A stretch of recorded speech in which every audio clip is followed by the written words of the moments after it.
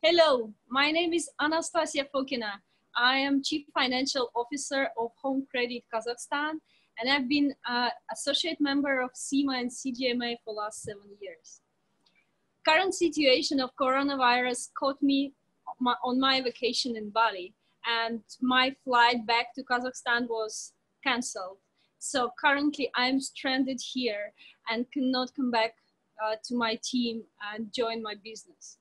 So uh, I'm really amazed how members of my team stood up and uh, be become leaders and made the transformation of my company possible uh, by quickly uh, changing the liquidity patterns by quickly reducing the sales because you understand that in the crisis cash is a king.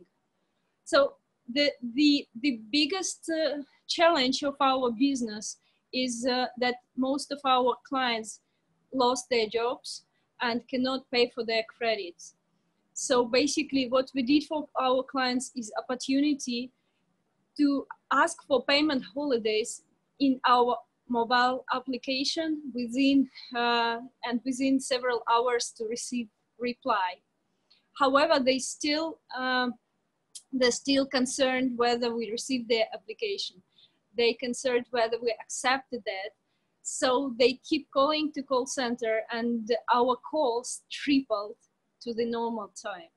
So in order to satisfy that demand, we actually retrained our salespeople uh, who have idle time anyway now uh, because uh, most of our offline points are closed.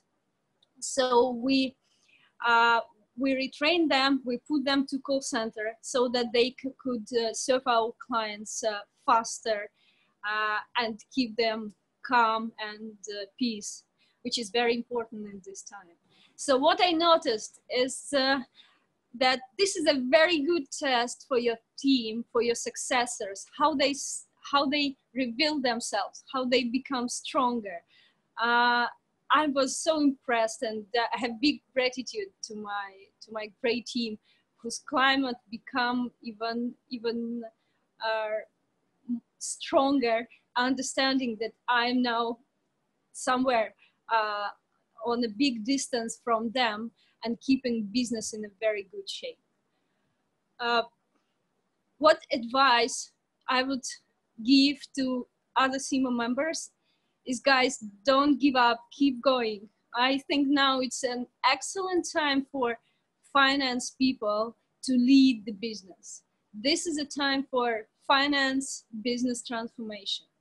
So if you're ready for the business that if you're ready for the crisis that would be excellent of course but who would imagine few months ago that something like that something like this shutdown global shutdown would be possible no one knew so we have to transform ourselves at the moment and we have a lot of tools which CIMA gave us uh, to control cash to inspire our employees to uh, think of uh, uh, controlling our balance sheet uh, and keep, keeping our, our companies at least not making losses.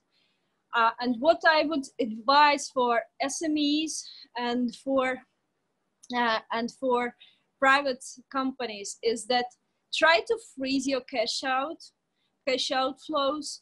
Uh, use the opportunities which are now for postponing payments, for uh, refinancing, for postponement your interest rate payments and uh, try to be in this frozen position uh, but don't lose connection with your clients because they really need support and they really need good news let you be a good news for them and think the most important thing what your company what place your company will take after the crisis how my company can bring value after the crisis end.